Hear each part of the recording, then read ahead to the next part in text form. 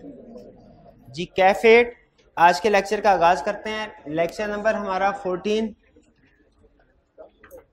इससे पहले previous chapter one में हमने स्टडी किया था एश्योरेंस एंगेजमेंट में। फाइव एलिमेंट्स होते हैं three party relationship subject matter suitable criteria evidence और रिपोर्ट चैप्टर टू में हमने कुछ एलिमेंट्स को स्टडी किया था, जिनमें थ्री पार्टीज़ सब्जेक्ट मैटर और क्राइटेरिया इन तीन चीज़ों के बारे में हमने डिस्कशन कर ली थी।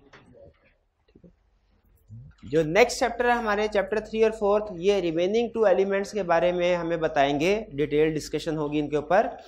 चैप्टर थ्री डिस्कस कर रहा है एविडेंस को और चैप्टर फोर डिस्कस कर रहा है रिपोर्ट को रिटर्न एश्योरेंस रिपोर्ट को। इसके साथ ही हमारे फाइव एलिमेंट्स कंप्लीट हो जाएँगे। तो चैप्टर थ्री जो है हम स्टार्ट करने जा रहे हैं, ये रिलेट कर रहा है किससे? किस एलिमेंट से? एविडेंस से। हमने स्टडी किया था ना फाइव एलिमेंट्स में कि एंगेजमेंट का एक एलिमेंट होता है एविडेंस जिसे सफिशिएंट एंड अप्रोप्रिएट होना चाहिए। ठीक हमने ये स्टडी किया कि आइडर की रिस्पॉन्सिबिलिटी है to obtain reasonable assurance opinion express करना है उसने रिपोर्ट में। ओपिनियन एक्सप्रेस करने के लिए उसे रीजनेबल एश्योरेंस ऑब्टेन करनी है। और रीजनेबल एश्योरेंस ऑब्टेन करने के लिए एविडेंस ऑब्टेन करना। ठीक है? और एविडेंस कैसे ऑब्टेन करेगा? प्रोसीजर परफॉर्म करेगा। ठीक है? तो बेसिकली एश्योरेंस या रीजनेबल एश्योरेंस क्या है? ये हम पढ़ चुके हैं। चैप्टर थ्री हमें बता रहा है एविडेंस क्या होता है और एविडेंस को ऑब्टेन करने के लिए कितनी तरह के प्रोसीजर हम परफॉर्म कर सकते हैं। यानी चैप्टर थ्री हमें दो चीज़ों के बारे में बताएगा। एविडेंस के बारे में और प्रोसीजर्स के बारे में। आज के लेक्चर में हम जो डिस्कशन करेंगे वो एविडेंस के बारे में करेंगे। ठीक है? सबसे पहले एविडेंस की डेफिनेशन एविडेंस क्या है? कहते हैं evidence is the information use by auditor in arriving at conclusion on which auditor's opinion is based यानी इसका मतलब क्या हुआ? एविडेंस से मुराद, हर वो इंफॉर्मेशन है। जिसको ऑडिटर यूज़ करता है अपने ओपिनियन पे पहुँचने के लिए। और ओपिनियन क्या है? कि फाइनेंशियल स्टेटमेंट ठीक है या गलत?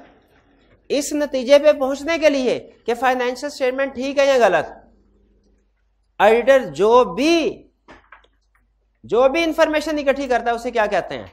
एविडेंस जैसे जज है, जो इसने इस नतीजे पे पहुँचना है कि ये मुलजिम जो है, इसने जुर्म किया कि नहीं किया? इस नतीजे पे पहुँचने के लिए जज जो भी इंफॉर्मेशन यूज़ करता है, ठीक है? जो जो सबूत होते हैं, जो गवाहों के बयान होते हैं, उसको क्या कहते हैं? उसको कहते हैं एविडेंस वो उसका लीगल एविडेंस है, ये हमारा ऑडिट एविडेंस है कंसर्ट वही है। कि ऑडिटर इस नतीजे पे पहुँचने के लिए, किस नतीजे पे पहुँचने के लिए कि फाइनेंशियल स्टेटमेंट ठीक है या गलत? इस नतीजे पे पहुँचने के लिए जो भी इंफॉर्मेशन यूज़ करेगा, उसे हम क्या कहते हैं? एविडेंस एविडेंस का मतलब समझ आ गया? जैसे, अगर आप ये देखना चाहते हैं कि सेल्स सही रिकॉर्ड हुई है कि नहीं सेल्स ठीक है, वो true and fair view present करती है कि नहीं उसके लिए आपके पास क्या एविडेंस होगा? सेल्स इनवाइसेस सेल ये क्या, ये पहले भी डिस्कशन हुई थी इसको तो ये क्या है? Sales invoices good dispatch note और इसी तरह अगर आप ये देखना चाहते हैं कि परचेजेस सही है कि नहीं, ठीक है? उनमें कोई मिसस्टेटमेंट नहीं। तो उसके लिए क्या एविडेंस होगा? Purchase invoices purchase order, good receipt note वगैरह। अगर आप देखना चाहते हैं सैलरीज एक्सपेंसेस ठीक है कि नहीं, उसके लिए एविडेंस क्या? तो ये सारे एविडेंस है। यानी ओवरऑल ये देखने के लिए कि फाइनेंशियल स्टेटमेंट्स ठीक है कि नहीं ट्रू एंड फेवर प्रेजेंट कर रही है कि नहीं। आप जो भी इंफॉर्मेशन यूज़ करेंगे, वो इंफॉर्मेशन वर्बल ओरल फॉर्म में भी हो सकती है रिटर्न फॉर्म में भी हो सकती है इंटरनल भी हो सकती है एक्सटर्नल भी हो सकती है। वो जो भी इंफॉर्मेशन यूज़ करेंगे आप, उसे हम क्या कहते हैं? एविडेंस एविडेंस का कंसेप्ट समझ आ गया? किसको कहते हैं एविडेंस अच्छा चलिए, अगला क्वेश्चन मुझे ये बताइए कि अगर आप सेल्स को वेरीफाई कर रहे हैं और सेल्स की ट्रांजैक्शंस रिकॉर्ड हुई हैं एक लाख, फ़र्ज़ कीजिए एक लाख ट्रांजैक्शन है, आपने उसमें से दस ट्रांजैक्शन चेक कर ली जो ठीक थी। क्या आप ये कह सकते हैं कि सैंपल बेसिस पे मैं इस नतीजे पे पहुँचा हूँ कि सेल्स ठीक है? क्योंकि मैंने एक लाख में से दस ट्रांजैक्शन चेक की हैं और वो ठीक है। क्या आपको लगता है कि एक लाख ट्रांजैक्शन ठीक है, एक लाख है तो एक लाख तो चेक नहीं करेंगे। लेकिन इसका ये मतलब भी नहीं है कि दस ही चेक कर लें सिर्फ़। दस ही चेक कर लें। ठीक है, वो इतनी तो अमाउंट होनी चाहिए कि एक रीजनेबल फिगर को कवर कर सके। तो अगर फ़र्ज़ कीजिए कि एक लाख इन्वाइसिस हैं या एक लाख रुपए की इन्वाइसिस हैं, आप उसमें से सिर्फ़ दस रुपए की इन्वाइसिस चेक करते हैं। एविडेंस है, ये नहीं कि एविडेंस नहीं है। एविडेंस है क्या आप समझते हैं कि ये एविडेंस सफिशिएंट है किसी नतीजे पे पहुँचने के लिए। ये एविडेंस सफिशिएंट नहीं है नतीजे पे पहुँचने के लिए। इसका मतलब है एविडेंस हंड्रेड परसेंट होना ज़रूरी नहीं है। कंक्लूसिव होना ज़रूरी नहीं है। लेकिन उसका रीजनेबल होना तो ज़रूरी है ना। वो रीजनेबल क्वांटिटी में हो। तो इसका मतलब है एविडेंस का सफिशिएंट होना ज़रूरी है। सफिशिएंट का ताल्लुक किससे है? क्वांटिटी से। इसी तरह एविडेंस का अप्रोप्रिएट होना भी ज़रूरी है। अप्रोप्रिएट का ताल्लुक किससे है? क्वालिटी से। जैसे फ़र्ज़ कीजिए कि मैंने सेल्स को वेरीफाई करते हुए सेल्स इनवाइस को चेक नहीं किया। गुड्स डिस्पैच नोट को चेक नहीं किया। लेकिन मैंने दस हज़ार दफ़ा सीएफओ से पूछ लिया, क्या सेल्स ठीक हैं? उसने दस हज़ार दफ़ा कहा, सेल्स ठीक हैं। फिर मैंने छह हज़ार दफ़ा मैनेजर अकाउंट से पूछा, सेल्स ठीक हैं? फिर मैंने तीन हज़ार दफ़ा सेल्स स्टाफ से पूछा, ठीक है? सबने कहा, ठीक है। मुझे बताइए, सफिशिएंट तो है ना? हज़ारों की तादाद में मैं एविडेंस इकट्ठा कर रहा हूँ। सफिशिएंट तो है। क्या अप्रोप्रिएट है? अप्रोप्रिएट नहीं है। इसमें मोर अप्रोप्रिएट एविडेंस क्या हो सकता था? रिटर्न फॉर्म में मैं चीज़ें चेक कर रहा होता। ठीक है? तो एग्री आप करते हैं कि एविडेंस को क्या होना चाहिए? सफिशिएंट कि अप्रोप्रिएट दोनों होने चाहिए। तो evidence must be sufficient and appropriate इसका मतलब है क्वांटिटी भी और क्वालिटी भी। दोनों चीज़ें होनी चाहिए एविडेंस में। और ये वो चीज़ थी जो हमने पढ़ी थी चैप्टर वन के एलिमेंट्स ऑफ़ श्योरेंस एंगेजमेंट में। Evidence should be sufficient and appropriate clear हो गया? चलिए सफिशिएंट और अप्रोप्रिएट का मतलब तो हमें समझ आ गया। लेकिन यहाँ पे अब, अब अगला क्वेश्चन आता है। अगला क्वेश्चन क्या आता है यहाँ पे? कि हमें कैसे पता चलेगा कि कितना एविडेंस सफिशिएंट है? जैसे हमारा एक क्लाइंट है, उसमें सेल्स की ट्रांजैक्शंस हैं, फ़र्ज़ कीजिए एक हज़ार। अब हमें ये तो पता है नेरे लिमिटेशन से हमने ये तो सीख लिया हुआ है कि सारी की सारी ट्रांजैक्शंस को हमने चेक अगर एक हज़ार ट्रांजैक्शन है, सारी की सारी चेक नहीं करनी। सैंपल बेस पे काम करना है। सैंपल बेस पे काम करने का मतलब एक हज़ार से कम ट्रांजैक्शन चेक करनी है। ये तो हमें पता है। लेकिन कितनी ट्रांजैक्शन चेक करनी है? क्या वो सौ ट्रांजैक्शन होनी चाहिए? दो सौ, तीन सौ, चार सौ, पाँच सौ, छह सौ, सात सौ, आठ सौ, कितनी होनी चाहिए? ए, वेरी करेगा एग्जैक्टली exactly. किसी क्लाइंट पे हो सकता है हम 300 400 ट्रांजैक्शन चेक कर लें, किसी क्लाइंट पे हो सकता है 600 700 ट्रांजैक्शन चेक कर। लें ठीक हाँ अभी एक चीज़ किन फैक्टर्स पे डिपेंड करता है, कि less evidence will be sufficient या more evidence will be sufficient 200 invoices will be sufficient या 800 invoices will be sufficient out of 1000 ये किस पे डिपेंड करता है? ये कुछ फैक्टर पे डिपेंड करता है। ठीक है? ये फैक्टर समझना ज़रूरी है हमारे लिए। रिप्रोडक्शन के क्वेश्चन में तो शायद पूछे ना पूछे, लेकिन कंसेप्ट ये बहुत स्ट्रांग बिल्ड करते हैं, ये फैक्टर्स तो हम क्या सीखने जा रहे हैं? कि एविडेंस का सफिशिएंट होना ज़रूरी है। यानी एक रीजनेबल क्वांटिटी होनी चाहिए। लेकिन साथ ही साथ ये भी ध्यान में रखिएगा ऑडिटिंग स्टैंडर्ड ने कोई परसेंटेज कोई नंबर नहीं दिया हुआ कि 70 परसेंट ट्रांजेक्शन हमेशा चेक करना ये सफिशिएंट होगा। 40 परसेंट ट्रांजेक्शन चेक करना हमेशा ये सफिशिएंट होगा। कोई नंबर ऑडिटिंग स्टैंडर्ड ने नहीं दिया, बल्कि क्या कहा हुआ है कि ये ऑडिटर की प्रोफेशनल जजमेंट पे डिपेंड करता है। ये ऑडिटर खुद डिसाइड करेगा कि सफिशिएंट एविडेंस हो गया कि नहीं हो गया। हमने कहा अच्छा अगर राइटर खुद डिसाइड करेगा वो तो दो इनवाइसिस चेक करके कहेगा सफिशिएंट हो गया। उसने कहा, नहीं प्रोफेशनल जजमेंट भी हमेशा कुछ फैक्टर्स पे डिपेंड करती है। तो ये देखा जाएगा, इन फैक्टर्स की रोशनी में अगर राइटर ने डिसीज़न किया है तो फिर उसकी जजमेंट ठीक मानी जाएगी, वरना नहीं। क्लियर हुआ यहाँ तक? जी हाइब्रिड क्लास में अगर आवाज़ बिल्कुल ठीक आ रही है, बगैर डिस्ट्रॉशन के तो हाथ उठा दीजिए। चले बस ठीक है। अगर डिस्ट्रॉशन फील हो रही है तो फिर हाथ उठा दे। अगर डिस्ट्रॉशन फील हो रही है, नहीं हो रही, शाबाश। आगे चलते हैं। हम कहाँ तक पहुँचे हैं? क्या एविडेंस होना चाहिए? सफिशिएंट सफिशिएंट के फैक्टर्स एक लाइन पे प्रैक्टिकली जब आप जाया करेंगे ना, उसमें आपको कम काम करना पड़ेगा। सो में से 20 ट्रांजैक्शन चेक की, सीनियर कहेगा, बस, रोक दो एविडेंस सफिशिएंट हो गया. दूसरे क्लाइंट पे सीनियर कहेगा 60 चेक करो. आप पूछेंगे, सर, कहीं पे कम, कहीं पे ज़्यादा, ये माजरा क्या है? तो सीनियर कहेगा, हमने कुछ फैक्टर्स देख के डिसाइड करना होता है. वो फैक्टर्स क्या है? सबसे पहले रिस्क जिस क्लाइंट में रिस्क ज़्यादा हो, वहाँ पे more evidence will be sufficient आपने मोर एविडेंस ऑब्टेन करना है, जिसमें रिस्क ज़्यादा हो। इसका मतलब है प्रीवियस क्लाइंट पे जिस पे आपने 20 परसेंट चेकिंग की थी, वहाँ पे रिस्क कम था। जहाँ पे 60 परसेंट कर रहे हैं रिस्क ज़्यादा तो अगर रिस्क ज़्यादा है तो मोर एविडेंस विल बी सभी, ज़्यादा एविडेंस ऑब्टेन करना है। दूसरा मटीरियलिटी एंड कंप्लेक्सिटी अलग अलग समझते हैं। मटीरियलिटी ठीक है? एंड कंप्लेक्सिटी अगर इंफॉर्मेशन ज़्यादा मटेरियल का मतलब पता ऑडिट में किसको कहते हैं? अहम, बड़ी वाली चीज़, जो अहम हो। अगर एरियाज़ जिनको आप वेरीफाई कर रहे हैं, वो मटेरियल हैं, वो बड़े हैं, जैसे नॉर्मली सेल्स का एरिया वो बड़ी अमाउंट का होता है रिपेयर एक्सपेंसेस का एरिया निस्बतन निस्बतन छोटी अमाउंट का होता है। तो बताइए कहाँ पे ज़्यादा एविडेंस विल बी सफिशिएंट क्योंकि वो हाईली मटेरियल है। ठीक है? और जो कम मटेरियल है, उसमें कम एविडेंस ठीक है? ये मटीरियलिटी समझ आ गया?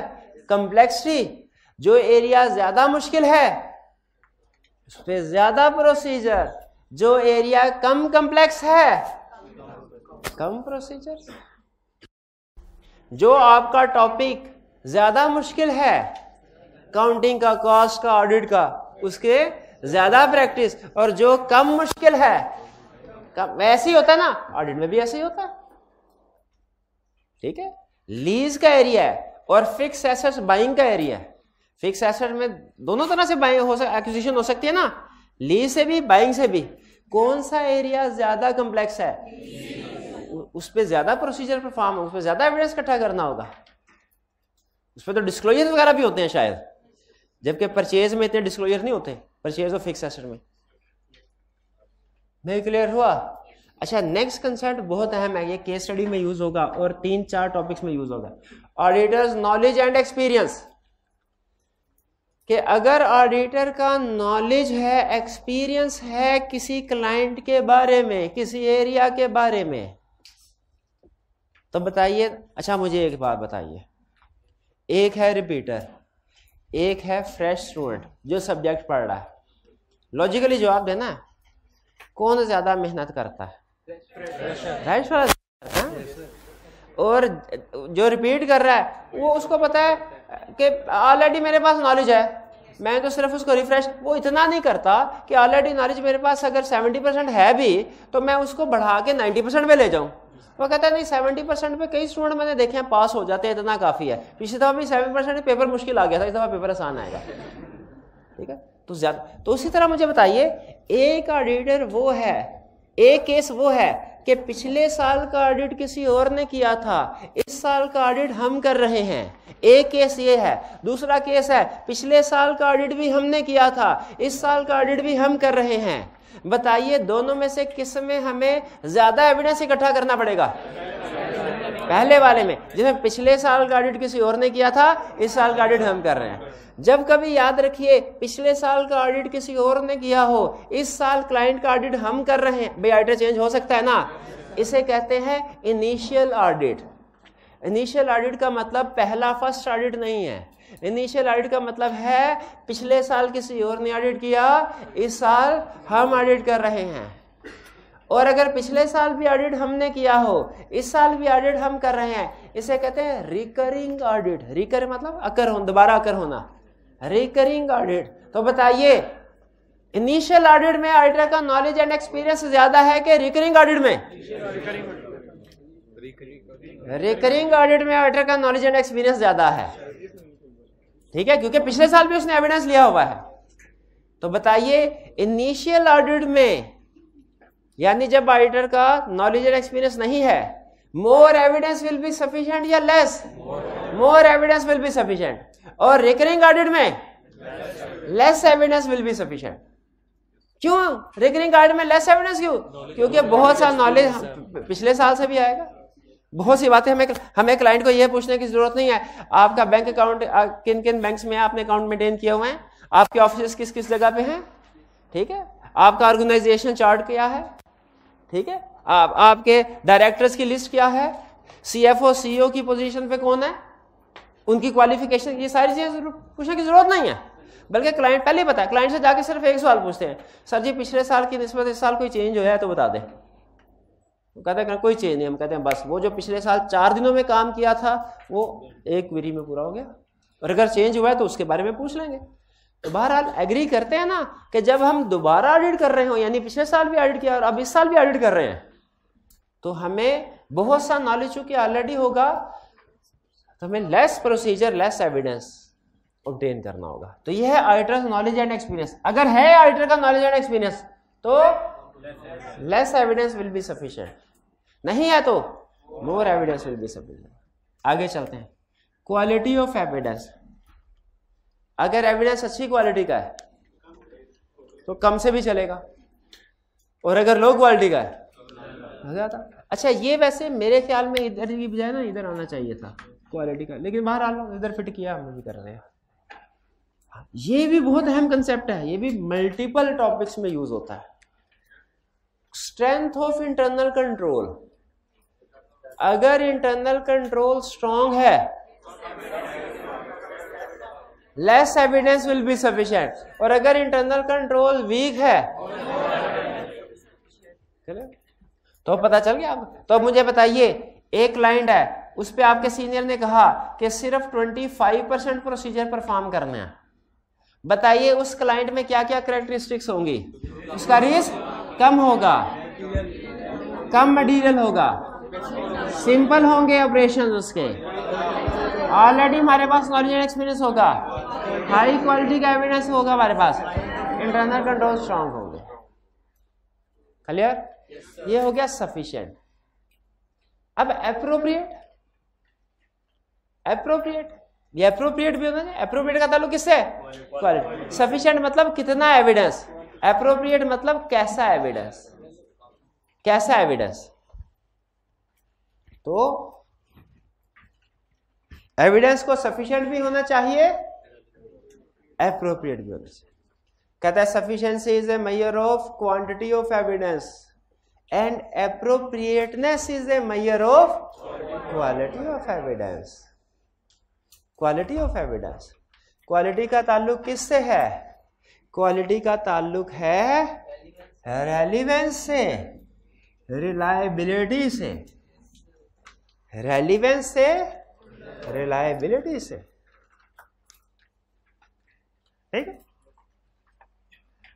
जैसे अगर एग्ज़ाम में आप पास होना चाहते हैं एविडेंस लेना चाहते हैं अश्योरेंस लेना चाहते हैं एग्ज़ाम में पास होना। तो उसमें एक तो आपके पास एविडेंस सफिशिएंट होना चाहिए, यानी आपको मेहनत करनी है। आपको हर रोज कम से कम दो घंटे ऑडिट पढ़ना। और फिर दूसरा, अब पढ़ना साथ में एविडेंस अप्रोप्रिएट भी होना चाहिए। यानी आपने दो घंटे ऑडिट पढ़ना है, लेकिन कौन से वाला ऑडिट जो हमारे सिलेबस से रेलिवेंट है, जो कंसेप्ट आई कैब की बुक में है, जो पाकिस्तान के चार्टर्ड अकाउंटेंट्स के सिलेबस में शामिल है, जो इंडिया के चार्टर्ड अकाउंटेंट्स के सिलेबस में शामिल है, वो पढ़ने चाहिए? क्या वो हमारे लिए रेलिवेंट है? अगर आप मेहनत करते तो हैं, लेकिन इंडिया के ऑडिट का सिलेबस कवर करते हैं। सफिशियंसी है बहुत। लेकिन बताइए क्या रेलिवेंस है?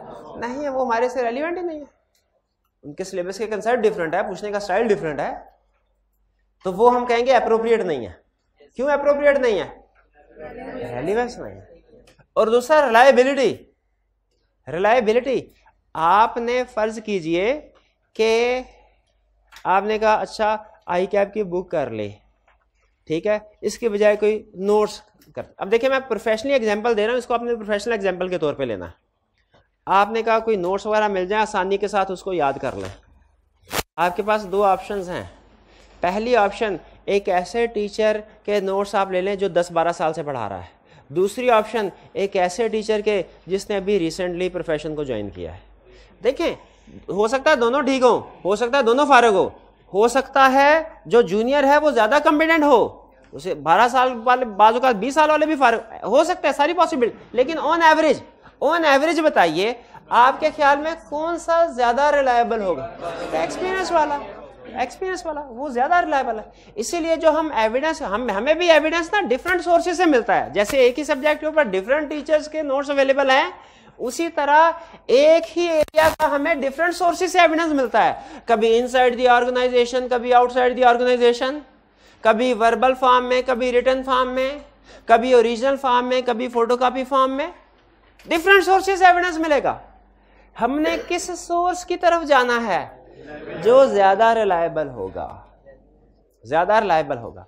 अगर आपका एविडेंस सफिशेंट है, लेकिन वो रिलायबल सोर्स से नहीं है तो उसको कोई नहीं मानेगा। कोई नहीं मानेगा। ठीक है? एग्री करते हैं कि हमारा एविडेंस सफिशिएंट तो होना चाहिए ही चाहिए, साथ ही साथ रेलिवेंट भी होना चाहिए, साथ ही साथ रिलायबल सोर्स से भी आना चाहिए। रिलायबिलिटी का मतलब यही है कि सोर्स रिलायबल हो ऑथेंटिक हो। अब हमें बता रहा है। अब मैं वैसे तो असूली पहले रेलिवेंट और फिर रिलायबल मुझे पढ़ाना चाहिए, लेकिन मैं एग्ज़ाम के क्वेश्चन को सामने रखे, जो वो ज़्यादा पूछता है, उसको पहले पढ़ा रहा हूँ। ज़्यादा क्या पूछता है? रिलायबिलिटी कैसे पता चलेगा कौन सा एविडेंस रिलायबल है, कौन सा नहीं?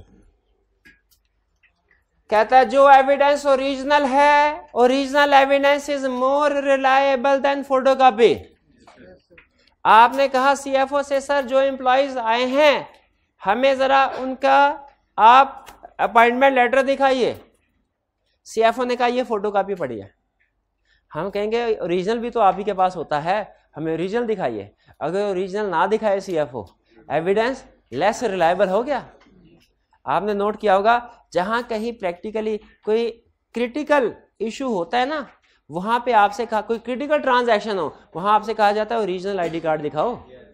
रीजनल आईडी कार्ड हालाँकि फोटोकॉपी आप दिखाते हैं कहते हैं फोटोकॉपी से नहीं काम चलेगा क्योंकि फोटोकॉपी में आपको दो नंबरिया हो सकते हैं ओरिजिनल एविडेंस वैसे ओरिजिनल में भी हो सकती हैं लेकिन बहरहाल फिर भी original is more reliable than photocopy agree करते हैं? तो आप प्रैक्टिस में जाके अगर ओरिजिनल एविडेंस अवेलेबल हो, हो तो आप ओरिजिनल एविडेंस से तसली करेंगे कि फोटोकॉपी से? से।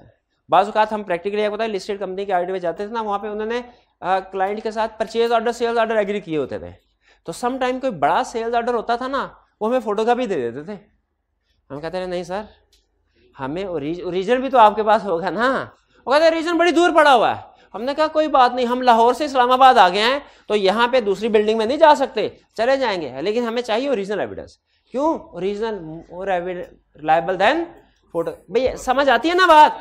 ये सारी कॉमन सेंस की बातें हैं। फिर external evidence is more reliable than internal एक एविडेंस आपको इंटरनल इंटरनल से मुराद विद इन दी ऑर्गेनाइजेशन मिले।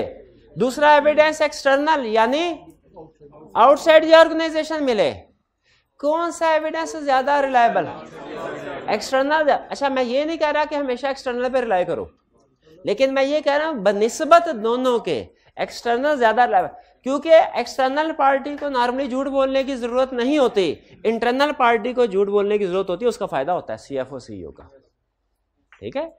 तो मुझे ये बताइए कि अगर सीएफओ कहे, हमारे खिलाफ कोई केस नहीं है। लॉयर कहे कि, हमारे खिलाफ कंपनी के खिलाफ केस पेंडिंग है। किसकी बात मानेंगे? गलत। मैंने आपको बताया था, जब कभी इनकंसिस्टेंसी हो फर्दर प्रोसीजर परफॉर्म करना है। यहाँ पे मैं आपको ये सिखाना चाह रहा हूँ कि एक्सटर्नल मोर रिलायबल है। ये नहीं कह रहा कि ओनली एक्सटर्नल इज़ रिलायबल ये नहीं सिखा रहा कि ओनली एक्सटर्नल इज़ रिलायबल बल्कि क्या सिखा रहा हूँ? एक्सटर्नल इज़ मोर रिलायबल अगर कभी इनकंसिस्टेंसी आ जाए तो हमने इन्वेस्टिगेट करना है। दोनों में से कोई भी ठीक कोई भी गलत हो सकता एग्री करते हैं? अच्छा मुझे बताइए एक है सेल इनवाइस सेल इनवाइस आपको पता क्या होते हैं? क्या होती है? हाँ सेल कर रहे सेल इनवाइस कौन बनाता है? कंपनी के बाहर का बंदा? एक होता है कंफर्मेशन लेटर जो डेटर्स को सेंड करता है। कौन सेंड करता है? ऑडिटर और हाइब्रिड क्लास में जो पहले बेंच पे बच्चे बैठे हैं, इनमें से बताएँ कोई। ये कैप वाले भाई बताएँ? मुझे ये बताइए कि एक एविडेंस है कंफर्मेशन लेटर एक है सेल इन वाइज दोनों में से कौन सा ज़्यादा रिलायबल है और क्यों? Confirmation letter is more reliable क्यों? क्यों? क्योंकि ये एक्सटर्नल सोर्स है। तो external is more reliable than agree करते हैं? आगे चलें। Documentary evidence is more reliable than verbal evidence documentary लिखत पढ़त में बात। वो ज़्यादा रिलायबल है कि जो जबानी कलामी हो? लिखत पढ़ा में जबानी कलामी तो लोग मुकर जाते हैं ना। हाँ तो मैं अफ्तारी कराऊँगा, शाम को कहते हैं जी मुझे भूल गया, मैंने क्या कहा था?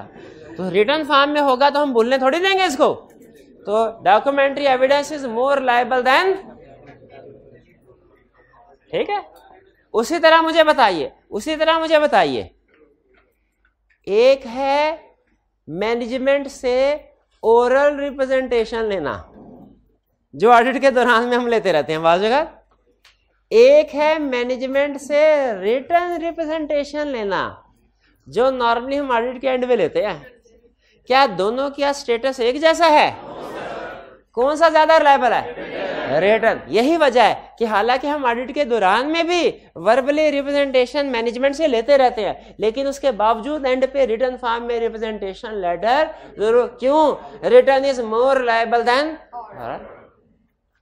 इसी तरह एक और एग्जांपल केस वन हमने बैंक को फ़ोन करके कहा, बताओ हमारे क्लाइंट का बैलेंस क्या है? उसने फ़ोन पे बता दिया.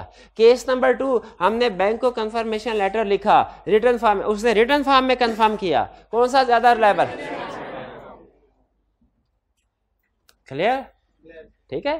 Documentary documentary means written form में. Documentary evidence is more reliable than oral evidence फिर इसके बाद directly evidence obtained directly is more reliable than evidence obtained indirectly. कभी आप शाफ्तारी से थोड़ी देर पहले समोसे वाले के पास गए हों और उससे पूछा हो, ये वाला समोसा कितने का है? तो उसने आपसे पूछा, आपको कहा हो और तुम्हारे लिए फ्री तुमने हाथ लगा लिया ना उठा के ले जाओ इसको अब। हैं? ऐसे? क्यों? अब ये उसके काम का नहीं रहा समोसा। उसी तरह उसी तरह। मुझे ये बताइए हमने कंफर्मेशन लेटर सेंड किया बैंक को। हमने कंफर्मेशन लेटर सेंड किया डेडर को। हमने कंफर्मेशन लेटर सेंड किया क्रेडिटर को। इन लोगों को क्या चाहिए कि जवाब किसको भेजे? हमें। लेकिन इन्होंने जवाब गलती से भेज दिया क्लाइंट को। और क्लाइंट ने लफाफा खोला कंफर्मेशन निकाले, सीधा पदरा करके कहा, सर, ये लीजिए कंफर्मेशन के जवाब आ गए हैं। क्या हमें एक्सेप्ट कर लेने चाहिए? क्यों नहीं करने चाहिए? क्योंकि क्लाइंट के थ्रू आया ना तो क्लाइंट उसमें हेर फेर कर सकता है। हो सकता है जो जवाब उसकी फेवर में आए हों, वो उसने हमें दे दिए जो उसके अगेंस्ट हो, वो उसने फाड़ के फेंक दिए या हिस्ट्री में बाज़ात ऐसे भी होता है कि क्लाइंट कन्फर्मेशन की स्कैनिंग करवा के स्कैन कॉपी में चेंज करके, दोबारा कॉपी निकलवा के हमें वो वाला वर्जन दे देता है। हिस्ट्री में ऐसी एग्ज़ाम्पल भी मौजूद है। तो चूँकि क्लाइंट के थ्रू जो चीज़ आएगी क्लाइंट इसमें रिकॉर्ड टेम्परिंग कर सकता है। इसलिए हम क्लाइंट को क्या कहते हैं? कि भाई, अगर तुम्हारे हाथ लग गए ना एविडेंस को, ये कंफर्मेशन हमारे काम की नहीं रही। क्यों? क्योंकि वो वो एविडेंस जो डायरेक्टली हमारे पास पहुँचा इज़ मोर रिलायबल देन वो एविडेंस जो इनडायरेक्टली पहुँचा। इनडायरेक्टली से मुराद क्या है? थ्रू मैनेजमेंट हैंड्स मैनेजमेंट उसकी रिलायबिलिटी कम हो जाती है, क्योंकि उसमें रिकॉर्ड टेम्परिंग का रिस्क हो जाता है। ये ये डायरेक्टली वाली बात समझ आ गई? बात समझ आ गई डायरेक्टली वाली? और एग्जांपल सुना है। आपने, भाई इंटरनल कंट्रोल की कोई एक एग्जांपल सुना है? बताए। Stock count B R S segregation of duty आपने सीएफओ से पूछा, सर, हर मंथ स्टॉक काउंट करते हैं? उसने कहा, जी सर, करते हैं। एविडेंस है? एविडेंस है, बिल्कुल। दूसरा केस मंथ एंड पे आप खुद वेयर हाउस में पहुँच गए और देख रहे हैं स्टॉक काउंट हो रहा है कि नहीं हो रहा। ये भी एक एविडेंस है। दोनों हैं स्टॉक काउंट से रिलेटेड बताइए, कौन सा लेस रिलायबल कौन सा मोर पहले inquiry is less reliable than observation observation ज़्यादा रिलायबल है इंक्वायरी से। ठीक है? वो आपने सुना होगा कि कानों सुनी बात आँखों देखी जैसी नहीं होती।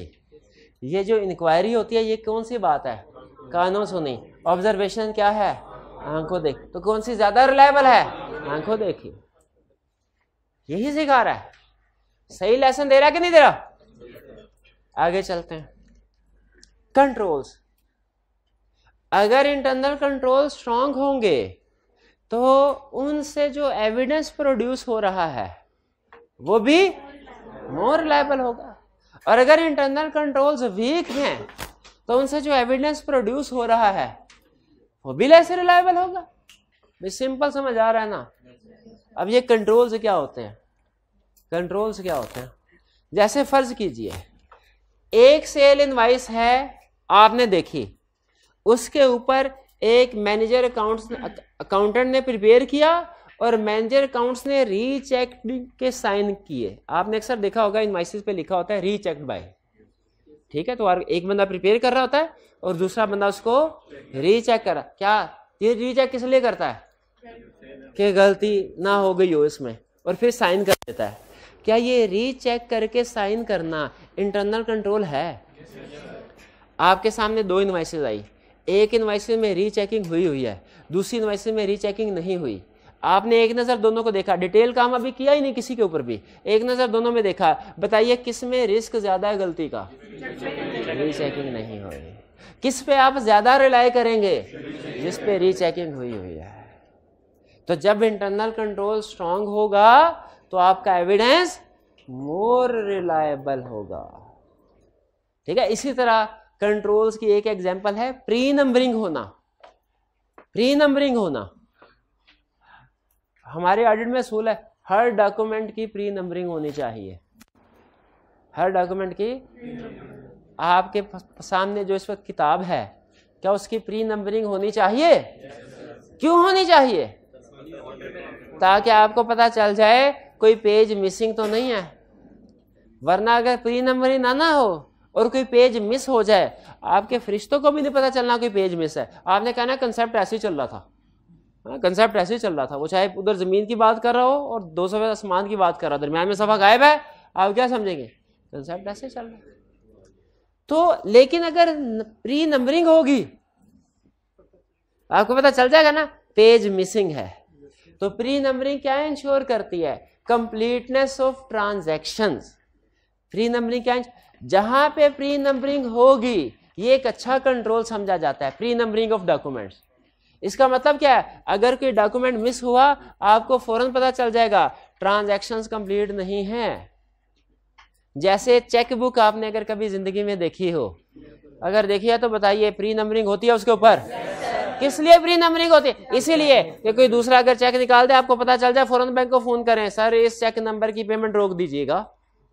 बताइए प्री नंबरिंग का फ़ायदा हुआ कि नहीं हुआ? बताइए प्री नंबरिंग मिस स्टेटमेंट को फ्रॉड को रोकती है कि नहीं रोकती? रोकती है। तो pre numbering is a good control तो बताइए अगर गुड कंट्रोल्स हैं कंट्रोल स्ट्रॉन्ग है तो आपका एविडेंस क्या होगा? एक लाइन पे ऐड करने के लिए गए। आपको पता चला सेल इनवाइसिस प्री नंबर्ड हैं। दूसरे क्लाइंट पे ऐड करने के लिए पता चला सेल इनवाइसिस प्री नंबर्ड नहीं है। बताइए किसमें रिस्क कम है जिसमें प्री नंबरिंग है। क्योंकि इसमें अगर कोई सेल स्किप होगी ना तो आपके सामने स्क्रीन पे वो सारा सेल इनवाइस नंबरिंग आ रही होगी। आप कहेंगे छह सौ अस्सी छह सौ इक्कीस छह सौ बासी छह सौ छह सौ चौरासी छह सौ तिरासी किधर गया? ये ट्रांजैक्शन मिसिंग है। पता चल जाएगा कि नहीं? Yes, लेकिन अगर प्री नंबरिंग हो ही नहीं फिर तो नहीं ना पता चलेगा। तो इसका मतलब एग्री करते हैं? इंटरनल कंट्रोल्स होना अच्छी बात है और इससे हमारा एविडेंस ज़्यादा रिलायबल होता है। इससे रिस्क भी कम हो जाता है। भाई प्री नंबरिंग समझ आगे क्या होते हैं? ये थे रिलायबिलिटी के। पाँचों पॉइंट्स याद हो गए आपको? अगर एग्ज़ाम में आपसे पूछे कि रिलायबिलिटी के पॉइंट्स बताइए, बता देंगे? सम टाइम आपसे रिप्रोडक्शन के क्वेश्चन में पूछ सकता है रिलायबिलिटी के पॉइंट बताओ। सम टाइम आपसे इसी कंसेप्ट को केस स्टडी में पूछ सकता है। केस स्टडी में कैसे पूछ सकता है? हाइब्रिड क्लास में जो सेकंड लास्ट बेंच पे स्टूडेंट बैठे हैं, इनमें से किसी भी स्टूडेंट को माइक दीजिए ज़रा। और वो स्टूडेंट मेरे सवाल का जवाब दे। क्या मैं आपको एक एविडेंस बताने लगा हूँ? एविडेंस आपने मुझे बताना है कि ये हाईली रिलायबल है, लो रिलायबल है कि मॉडरेटली रिलायबल है? अच्छा आपके डिसीज़न के आपको कोई नंबर नहीं मिलेगा, लेकिन उसको जस्टिफाई करवाने के मार्क्स मिलेंगे कि मैंने इसे हाई रिलायबल कहा है इसलिए क्योंकि इसमें ये चीज़ है, ये चीज़ है, ये चीज़ है। मैंने इसे लो रिलायबल कहा है इसलिए क्योंकि इसमें ये चीज़ नहीं है, ये चीज़ नहीं है। बस बात समझ आ गई? जी माई पहुँच गया भाई के पास? जी भाई, तैयार हैं? रहे भाई तैयार हैं? चलिए, आपकी आवाज़ जो है, वो तो नहीं कह रही कि आप तैयार हैं, बहरहाल। एविडेंस है कंफर्मेशन लेटर कंफर्मेशन लेटर पहले डिसीज़न बताइए, आपके हाथ में कंफर्मेशन लेटर कैसा एविडेंस है? मोर रिलायबल शाबाश। साबित कीजिए। एक्सटर्नल है। शाबाश। दूसरा डॉक्यूमेंट्री है। तीसरा डायरेक्ट है। ओरिजिनल भी है। रीजनल भी है। इंटरनल कंट्रोल वाला, क्योंकि वो तो इंटरनल एविडेंस के लिए है। बे क्लियर हो गई ये बात? अच्छा और सुनिए फिर, और बताइए। जी? उसने, वो आप बताना शुरू हो गए थे। उसकी आवाज़ वो भी सोच रहा था। चलिए भाई, अभी जरा ऊँची आवाज़ में बताइएगा। अगला एविडेंस आ रहा है। आपने बताना है इसकी रिलायबिलिटी के ऊपर कमेंट करना है। ओरल रिप्रेजेंटेशन बाय सीएफओ कोई हमने सवाल पूछा? उसके ऊपर सीएफओ ने ओरल रिप्रेजेंटेशन दी। जी बताइए हाई लो मॉडरेट क्या? नहीं नहीं, जो स्टूडेंट जिससे हाइब्रिड में पूछ रहे हैं। जी? लो है। रीजन बताइए, क्यों लो है? रिलायबिलिटी क्यों लो है? जी? डॉक्यूमेंट्री नहीं है, शाबाश। और एक्सटर्नल भी नहीं है? हाँ इंटरनल इंटरनल है, बिल्कुल। हाँ जी। और इंटरनेटली है ही मैनेजमेंट के थ्रू मैनेजमेंट से है, बिल्कुल ठीक है, शाबाश। ये लो एविडेंस है। तो आपको समझ लग गई कि हमारा एविडेंस रिलायबल होना चाहिए। सफिशिएंट भी समझ आ गया? रिलायबल अब आ जाए रेलिवेंस अच्छा रेलिवेंस में सुन लें। ट्रांजैक्शन प्रोसेसिंग फाइनेंशियल स्टेटमेंट्स क्या हम सिर्फ़ ऑडिट में फाइनेंशियल स्टेटमेंट्स को टेस्ट करते हैं कि इंटरनल कंट्रोल को भी? क्यों? क्या हमने इंटरनल कंट्रोल पे भी ओपिनियन देना होता है? तो फिर क्यों इंटरनल कंट्रोल को टेस्ट करते हैं? क्योंकि वो इनडायरेक्टली फाइनेंशियल स्टेटमेंट को इफ़ेक्ट करते हैं। और हम इंटरनल कंट्रोल को टेस्ट करके रिस्क असेस करते हैं। कंट्रोल स्ट्रॉन्ग रिस्क कम। कंट्रोल वीक रिस्क ज़्यादा। अच्छा तो इसका मतलब इससे तो आप एग्री करते हैं। अच्छी बात, काम मेरा आसान हो गया। कि फाइनेंशियल स्टेटमेंट को भी टेस्ट करना चाहिए। जो इंटरनल कंट्रोल अच्छा मुझे बताइए, दोनों को टेस्ट करने के प्रोसीजर एक जैसे होंगे क्या? अलग अलग होंगे ना? शाबाश। क्यों अलग अलग क्योंकि प्रोसेसिंग इंटरनल कंट्रोल्स में हम इंटरनल कंट्रोल्स में, ये इंटरनल कंट्रोल कर लें। हम पॉलिसीज़ एंड प्रोसीजर्स को चेक कर रहे हैं। साइन हुए हैं कि नहीं हुए? अप्रूवल हुई है कि नहीं हुई? सेग्रीगेशन और ड्यूटीज़ है कि नहीं है? बैंक रिकन्सिलेशन स्टैंडर्ड बन रहे हैं कि नहीं बन रहे? इसमें हम अमाउंट्स के ऊपर फोकस नहीं कर रहे होते। पॉलिसीज़ एंड प्रोसीजर के ऊपर फोकस कर रहे होते हैं। इंटरनल कंट्रोल की चेकिंग और फाइनेंशियल स्टेटमेंट की चेकिंग क्यों फ़र्क है? क्योंकि इंटरनल कंट्रोल की चेकिंग में हम पॉलिसी एंड प्रोसीजर के ऊपर फोकस कर रहे होते हैं। और फाइनेंशियल स्टेटमेंट्स की चेकिंग में हम अमाउंट्स के ऊपर नंबर्स के ऊपर फोकस कर रहे होते हैं। इसलिए दोनों को चेक करने के प्रोसीजर भी डिफरेंट इसीलिए अगर आप फाइनेंशियल स्टेटमेंट्स को टेस्ट करना चाहते हैं चेक करना चाहते हैं तो जो आपके लिए रेलिवेंट प्रोसीजर होंगे, इसके लिए, इसको चेक करने के लिए रेलिवेंट प्रोसीजर कोई और है? इसको चेक करने के लिए रेलिवेंट प्रोसीजर कोई और है? कह रहे अगर आपने इंटरनल कंट्रोल्स को टेस्ट करना है तो आपका जो रेलिवेंट प्रोसीजर होगा, उसे कहते हैं टेस्ट ऑफ़ कंट्रोल्स और अगर आप फाइनेंशियल स्टेटमेंट्स को चेक करना चाहते हैं तो जो उसके लिए रेलिवेंट प्रोसीजर होते हैं, उन्हें कहते हैं सबस्टेंटिव प्रोसीजर्स क्या कहते हैं? Substantive procedure test of control बोले test of control substantive procedure test of control substantive procedure test of controls किस लिए हैं? इंटरनल कंट्रोल को टेस्ट करने के लिए। सब्सटेंटिव प्रोसीजर किस लिए है? फाइनेंशियल स्टेटमेंट्स को चेक करने के लिए। यही वो बता रहा है कि टेस्ट ऑफ़ कंट्रोल्स किससे रेलिवेंट है? इंटरनल कंट्रोल से, उनको टेस्ट करने के लिए। सब्सटेंटिव प्रोसीजर्स फाइनेंशियल स्टेटमेंट से रेलिवेंट है। अगर मैं आपसे कहूँ फाइनेंशियल स्टेटमेंट को चेक करो और आप टेस्ट ऑफ़ कंट्रोल परफॉर्म करके आ जाएँ। मुझे शाबाश देनी चाहिए कि फांसे यस क्यों? रेलिवेंट प्रोसीजर परफॉर्म नहीं किया। ऐसे प्रोसीजर का कोई फ़ायदा नहीं है। चाहे सारी रात काम करते रहे हैं, ऐसे प्रोसीजर का कोई फ़ायदा नहीं है, क्योंकि ये रेलिवेंट नहीं है। क्लियर हुआ? अच्छा अब टेस्ट ऑफ़ कंट्रोल के लिए रेलिवेंट प्रोसीजर कुछ हो रहा है। फाइनेंशियल स्टेटमेंट के लिए रेलिवेंट प्रोसीजर कुछ हो रहा है। ये एग्री करते हैं। कंसेप्ट को एक स्टेप आगे लेके जाएँ। फाइनेंशियल स्टेटमेंट्स के अंदर भी। फाइनेंशियल स्टेटमेंट्स के अंदर भी।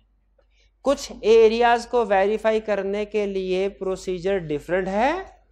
और कुछ दूसरे चीज़ों को वेरीफाई करने के लिए प्रोसीजर डिफरेंट एक चीज़ को वेरीफाई करना हो, उसका रेलिवेंट प्रोसीजर कुछ और होगा। और दूसरी चीज़ को वेरीफाई करना हो, उसका रेलिवेंट प्रोसीजर कुछ और होगा। जैसे कि एग्ज़ाम्पल एग्ज़ाम्पल समझ मुझे ये बताइए क्लाइंट अच्छा बताइए एग्ज़ाम्पल सेल इनकम स्टेटमेंट की दूँ कि बैलेंस शीट की दूँ?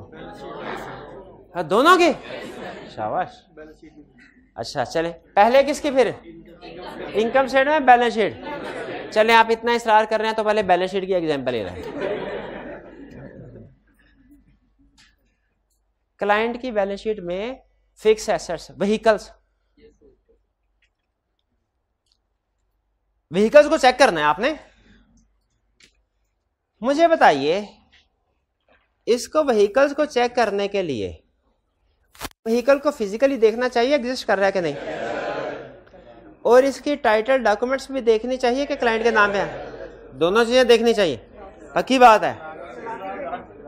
चला चला के ठीक है। जब हम फिजिकली एसेट को देखते हैं ना तो इसको ऑडिट की लैंग्वेज में कहते हैं, आप एग्जिस्टेंस चेक कर रहे हैं। आपका मकसद क्या चेक करना? एग्जिस्टेंस और अगर आप ये देख रहे हो कि क्लाइंट के नाम पे है कि नहीं तो आप ऑडिट की लैंग्वेज से कहते हैं आप चेक कर रहे हो राइट्स एंड ऑब्लिगेशन कि क्लाइंट का इसके ऊपर लीगल राइट है कि नहीं। और आपने कहा एग्जिस्टेंस भी चेक करनी चाहिए यानी एशन मौजूद है कि नहीं। और राइट्स एंड ऑब्लिगेशन भी चेक करना चाहिए कि क्लाइंट का है कि नहीं। दोनों चीज़ें चेक करनी चाहिए। अच्छा अब आपने प्रोसीजर गौर से सुनना है और मुझे बताना है प्रोसीजर ठीक है कि गलत ठीक है?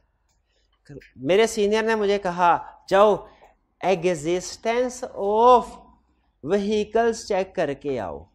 क्या चेक करके आओ? अच्छा आप देखें, ये वहीकल एक वहीकल एक एरिया है ना? वहीकल एक एरिया है। वहीकल एक एरिया है। वहीकल क्या है? एक एरिया इस एरिया को वेरीफाई करने के लिए डिफरेंट चीज़ें चेक करते हैं हम। आपने कहा, सर एग्जिस्टेंस भी चेक होनी चाहिए। मैंने कहा, ठीक है, होनी चाहिए। फिर आपने कहा राइट्स एंड ओब्लिगेशन भी चेक होने चाहिए। मैंने कहा, वो भी चेक होने चाहिए। इसमें ओब्लिगेशन का वर्ड अगर आपको फ़िलहाल थोड़ा चुप रहे तो कोई मसला नहीं है। सिर्फ़ राइट्स को जहन में रख लें। ठीक है? असल में वो बैलेंस शीट में चूँकि लाइबिलिटीज भी होती हैं तो राइट्स के साथ ऑब्लिगेशन भी है। आपने कहा एग्जिस्टेंस को चेक करना चाहिए। मैंने कहा ठीक है। आपने कहा राइट ऑब्लिगेशन को चेक मैंने कहा ठीक है। फिर आपने कहा चला के भी देखना चाहिए। चला के भी देखना चाहिए। मैंने कहा ये भी ठीक है। अच्छा मुझे बताइए, अगर मैंने ये देखना है कि वहीकल्स ठीक हैं कि नहीं तो मुझे ये सारी चीज़ें भी चेक करनी चाहिए। चेक करनी चाहिए कि नहीं चेक करनी चाहिए? एग्जिस्टेंस है कि नहीं? क्लाइंट का राइट है कि नहीं? गाड़ी ठीक है कि नहीं? चल रही है कि नहीं? चलती का नाम गाड़ी ना? चला के देखेंगे, चलेगी तो और भी चीज़ें देख लेनी चाहिए। भाई, देखनी चाहिए कि नहीं? असल में ना, जब हम वहीकल्स को वेरीफाई करते हैं ना तो असल में वहीकल की ये चीज़ें वेरीफाई करते हैं। जब ये सारी चीज़ें वहीकल के कंपोनेंट्स कह लें, जब ये वेरीफाई हो जाते हैं वहीकल ऑटोमेटिकली वेरीफाई हो जाती है। वहीकल ये ऑटोमेटिकली वेरीफाई हो जाते इन कंपोनेंट्स को कहते हैं अजर्शंस अजर्शंस का मतलब है किसी एक एरिया के स्पेसिफिक छोटे छोटे कंपोनेंट्स जिनको आप चेक करेंगे। जैसे आपसे कहा जाए, अगर आप मेडिकल अब मुझे, मैं बस अन्य मिसाल बना रहा हूँ। आपने मिसाल का ऑपरेशन नहीं करना, सिर्फ़ कंसेप्ट समझना है। मैं भाई से पूछूँ, आप मेडिकल के सुन, आप दुनिया के सबसे बड़े डॉक्टर हैं। आप बताइए, एक जानदार की क्या पहचान है? ये निशानियाँ बताएँगे। वो सांस लेता हो, वो खाता पीता हो, वो चलता फिरता हो। ठीक है? तो मैंने मैंने अगर ये साबित करना है कि ये इंसान है तो ये सारे टेस्ट इसके ऊपर अप्लाई करके ट्रू साबित करने पड़ेंगे कि नहीं? जब ये सारे टेस्ट इसके ऊपर साबित हो जाए, इसका मतलब क्या हो गया? ये इंसान है। उसी तरह हमारे, उसी तरह, लेकिन ये सोया रहता है, चलता फिरता नहीं है तो ये इंसान नहीं, ज़िंदा लाश है। हर वो स्टूडेंट जो क्लास में आके सो जाता है वो इंसान नहीं है, वो क्या है? ज़िंदा लाश है। क्योंकि वो इंसान के जो ये भाईजान ने हमें क्राइटेरिया उस पर पूरा नहीं उतर। उसी तरह मुझे बताइए, उसी तरह मुझे बताइए व्हीकल्स हैं। हमारे सीनियर ने हमें बताया कि व्हीकल्स तब ठीक होगी व्हीकल्स का एरिया तब वेरीफाइड समझा जाएगा, जब आपकी एग्जिस्टेंस भी चेक करोगे, जब आप इसके राइट्स ऑब्लिगेशन भी चेक करोगे, जब और चीज़ें जो आगे चल के पढ़ेंगे हम वैल्यूएशन एलोकेशन भी चेक करोगे, जब इसके डिस्क्लोजर भी चेक करोगे, ये सारी चीज़ें देखोगे, सारी चीज़ें ठीक साबित हो गई मतलब व्हीकल्स ठीक है। तो ये जो छोटी छोटी निशानियाँ हैं कंपोनेंट्स हैं, इनको हम क्या कहते हैं? अजर्शंस तो याद रखिएगा, एक सेंटेंस बोलने लगा अगर सेंटेंस समझ आ गया ना तो मेरी सारी डिस्कशन पार हो गई। सेंटेंस क्या है? हमने फाइनेंशियल स्टेटमेंट को वेरीफाई करना है। फाइनेंशियल स्टेटमेंट्स के अंदर डिफरेंट एरियाज़ हैं। हर एरिया को वेरीफाई करना एग्रीड ये आधी बात है। आगे सुने।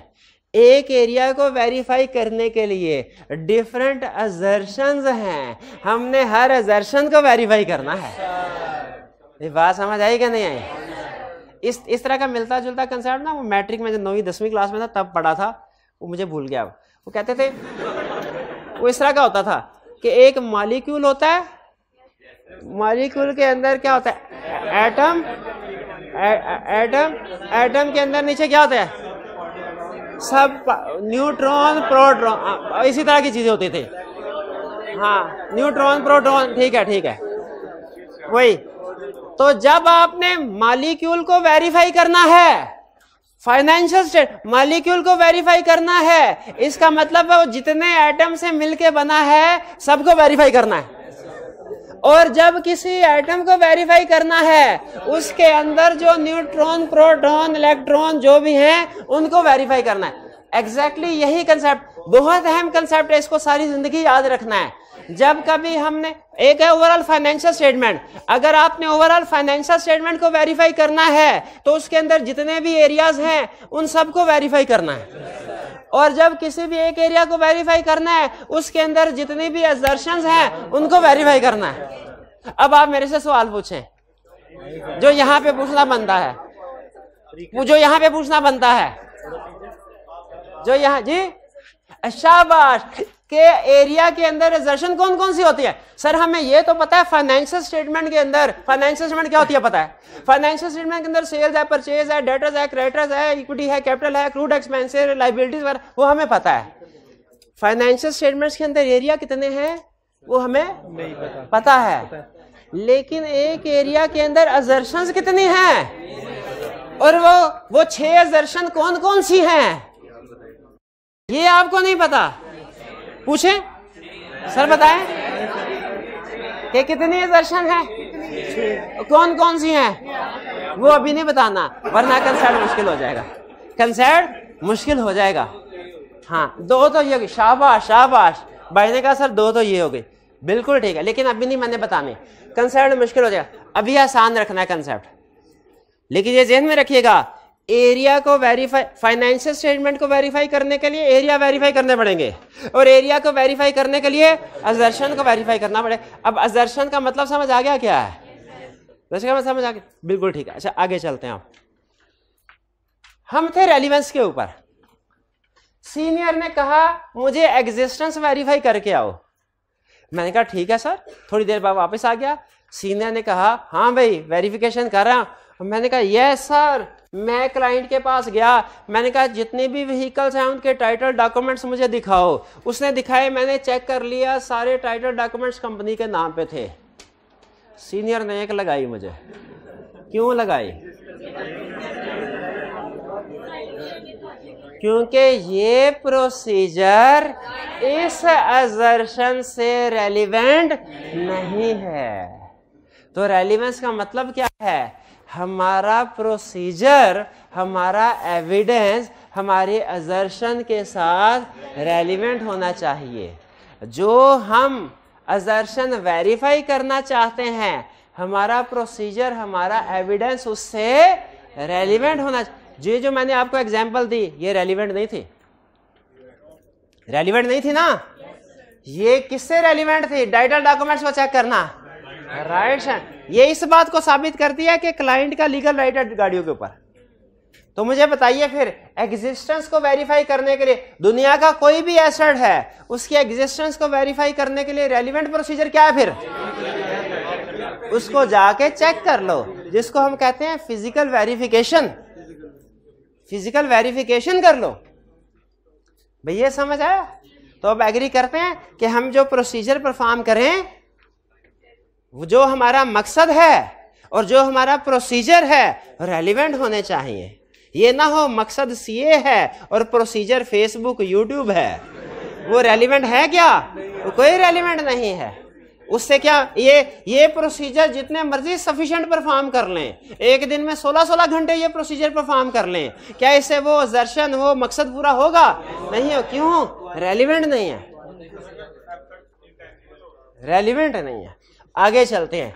इसके बाद। अब ये मैंने आपको एग्ज़ाम्पल दी बैलेंस शीट की।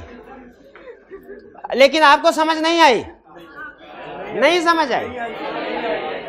अब एग्ज़ाम्पल इनकम स्टेटमेंट की, उससे समझाने की कोशिश करते हैं। शायद इससे समझ आ जाए।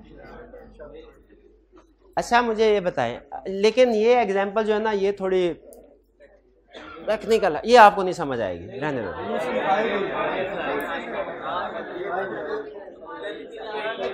अच्छा अभी देखते हैं समझ आती है कि नहीं फिर। ये भाई को समझ आ गई ना अगर तो इसका मतलब सारी क्लास को समझ आ गया। ठीक है भाई। इनकम स्टेटमेंट में कोई सा एक एरिया बता दे अपनी मर्ज़ी का।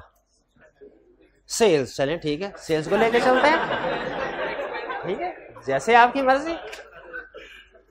मुझे बताइए सेल्स में क्या ये मिस स्टेटमेंट है कि सेल्स ओवरस्टेट हो जाए? क्या ये मिस स्टेटमेंट हो सकते हैं अंडरस्टेट हो जाए?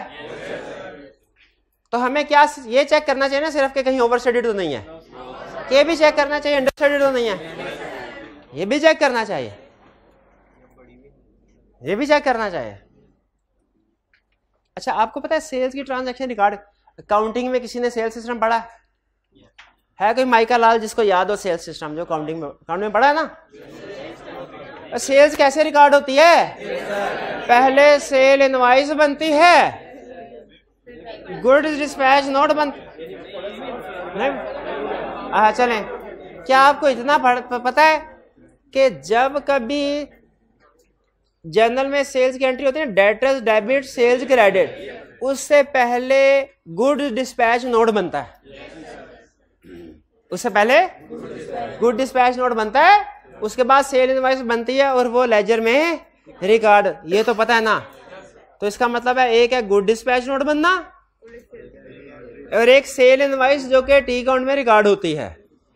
टी काउंट के अंदर जरा मुझे बताइए, इतने चार्टर्ड अकाउंटेंट बड़े बड़े बैठे हैं टी काउंट के अंदर सेल इन वाइस रिकॉर्ड होती है कि गुड डिस्पैच नोट शाबाश। गुड डिस्पैच नोट पे तो नॉर्मली अमाउंट होती नहीं है। उसमें तो ये होता है कितनी चीज़ें गई हैं। तो सेल इनवाइस ये जेन में रखिएगा। अच्छा क्या ऐसा हो सकता है? और से सुनेगा क्या ऐसा हो सकता है? गुड डिस्पैच नोट है दस। और टी अकाउंट में ट्रांजैक्शन रिकॉर्ड हो गई है आठ। हो सकता है कि नहीं? हाँ इसको हम क्या कहेंगे? अंडरस्टेटेड इसको क्या कहेंगे? सेल्स इज़ अंडरस्टेटेड लिखा हुआ समझ नहीं आ रहा होगा, लेकिन इसलिए बोल रहा हूँ। सेल्स इज़ अंडरस्टेटेड और क्या ऐसा हो सकता है? गुड डिस्पैच नोट दस हो। टी काउंट में ट्रांजैक्शन बारह रिकॉर्ड हुई हैं। इसको क्या कहते हैं? ओवरस्टेटेड अब मैं सिर्फ़ एक क्वेश्चन एक क्वेश्चन क्या? इसमें आप क्या एज ऑडिटर क्या ढूंढना चाहते हैं? वो वो ट्रांजैक्शन जो अकर हो गई है, लेकिन रिकॉर्ड नहीं हुई। क्या ढूंढना चाहते हैं? ऊपर वाले हिस्सा में, ऊपर वाले में ए केस में क्या ढूंढना चाहते हैं? ट्रांजैक्शन जो अकर हो गई हैं, रिकॉर्ड नहीं हुई। ये आपको कहाँ से मिलेंगी? जीडीएन से सैंपल उठाना पड़ेगा कि टी काउंट से? ये चीज़। इसके लिए रेलिवेंट प्रोसीजर क्या है? अगर आप ये देखना चाहते हैं कि अंडरस्टेटेड तो नहीं है। अंडरस्टेटेड का मतलब अब देखें ये कंप्लीट रिकॉर्ड नहीं ना हुई। तो अंडरस्टेटेड का वर्ड भी बोल सकते हैं, ये भी बोल सकते हैं नॉट कंप्लीट नॉट कंप्लीट भाई, ये भी बोल सकते हैं कि नहीं? भाई, ये भी बोल सकते हैं कि ट्रांजैक्शन नॉट कंप्लीट है। अंडरस्टेटेड है सेल्स अंडरस्टेटेड है। ये ठीक कह रहा हूँ मैं। सेल्स नॉट कंप्लीटली रिकॉर्डेड है, ठीक कह रहा हूँ मैं। तो जो गलतियाँ हैं, वो ढूंढनी है। कहाँ से सफ़र शुरू करेंगे? यहाँ से सैंपल कहाँ से सिलेक्ट करना है? जीडीएन से। और चेक करना है टी अकाउंट में एंट्री पड़ी कि नहीं पड़ी। जिस ट्रांजैक्शन अब देखें, जिनकी, जो जीडीएन रिकॉर्ड हुई है टी अकाउंट में एंट्री नहीं है, वो कहाँ से मिलेगा? यहाँ से मिलेगा। तो इसका मतलब है रेलिवेंट प्रोसीजर क्या होगा? To select sample from GDN and check and trace into T account ये बात समझ आई कि नहीं? और अगर केस नहीं समझ आई अगली एग्जांपल अगर सिचुएशन ये है जीडीएन है दस और टी अकाउंट में ट्रांजैक्शन है बारह। इसका मतलब क्या है? ओवर स्टेटेड है।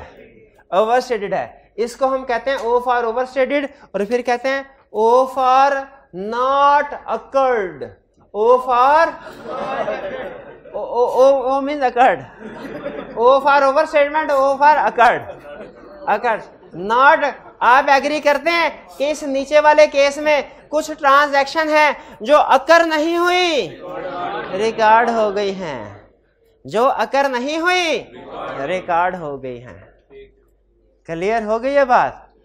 जो तो इसके लिए अब आप ऐसी ट्रांजैक्शन ढूंढना चाहते हैं जो अकर नहीं हुई, लेकिन रिकॉर्ड हो गई हैं। तो सफ़र कहाँ से शुरू करना है? सैंपल कहाँ से उठाना है? टी अकाउंट से। और ट्रेस करना है किसके साथ? जीडीएन के साथ कंपेयर करते हैं। जिस ट्रांजैक्शन का जीडीएन है, वो ठीक है। लेकिन जिस ट्रांजैक्शन का जीडीएन नहीं है, वो फेक रिकॉर्ड तो हो गई है अकर नहीं हुई। समझ आया आपको? अब ये देखें, अब समझाना क्या चाह रहा था? अब कंक्लूजन के ऊपर बात ला रहा हूँ। डोर के दो सिरे होते हैं।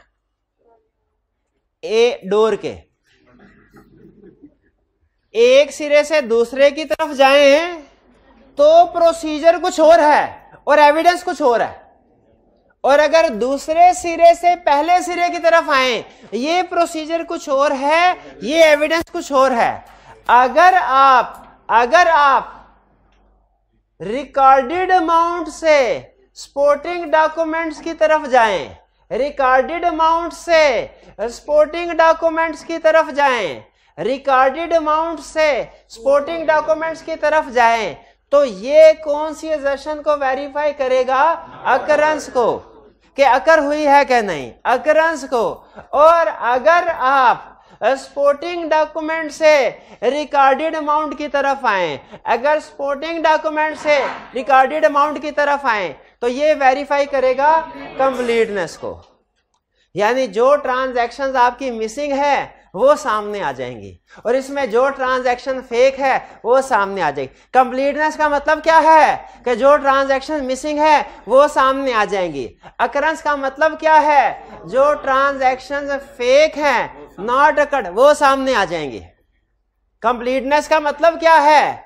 कि जो ट्रांजैक्शन मिसिंग है, वो कंप्लीटनेस असर्शन का मतलब क्या है? कि जो ट्रांजैक्शन मिसिंग है, वो सामने आ जाए। अकरेंस का मतलब क्या है? जो ट्रांजैक्शन फेक है, वो सामने आ जाए। अगर आप कंप्लीटनेस को इंश्योर करना चाहते हैं, सफ़र कहाँ से शुरू करना है? स्पोर्टिंग डॉक्यूमेंट से, शाबाश! स्पोर्टिंग डॉक्यूमेंट से रिकॉर्डेड अमाउंट की तरफ़ देखेंगे। रिकॉर्डेड का मतलब टी काउंट में रिकॉर्ड होते हैं। और अगर आप अक्रंस को देखना चाहते हैं।